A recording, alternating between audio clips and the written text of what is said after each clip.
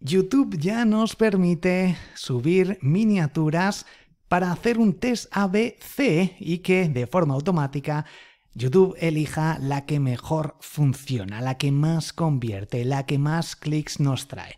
Y para ello simplemente le damos a subir un nuevo vídeo, elegimos cualquiera que tengamos, vamos a poner por ejemplo este, que he preparado aquí como modo de test y vamos a poner rellenar todo. En la parte de miniatura a mí ya me sale esta opción de subir un archivo que puedes generar con un único archivo.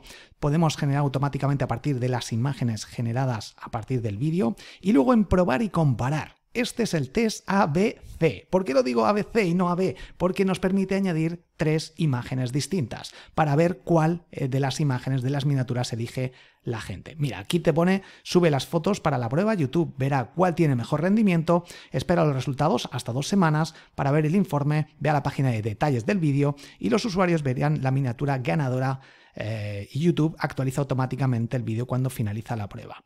Tú tienes la última palabra y puedes dejar la miniatura ganadora o elegir otra. Obviamente no vas a elegir otra cuando hay una que tiene mucho más alcance.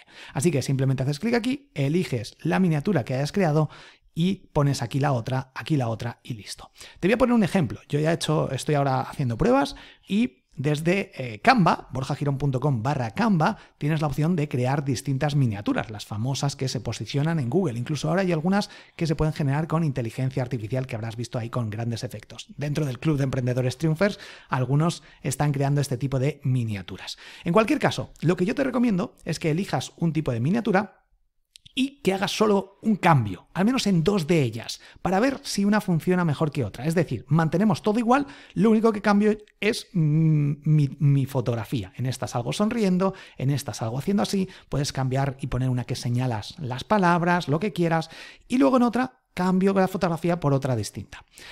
Aunque lo ideal, lo que yo recomendaría sería usar dos aquí y otra con un diseño completamente distinto para ver realmente cuál es la que funciona mejor de esas tres. Así que así de simple, lo eliges, lo publicas, esperas dos semanas y dentro de las estadísticas podrás ver cuál es la que mejor funciona y de forma automática YouTube la seleccionará. Y esto hará que consigas muchas más reproducciones y por tanto más dinero directamente con Instagram.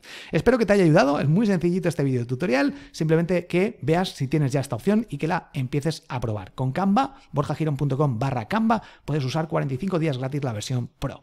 Un fuerte abrazo, nos vemos en próximos vídeos. Hasta pronto.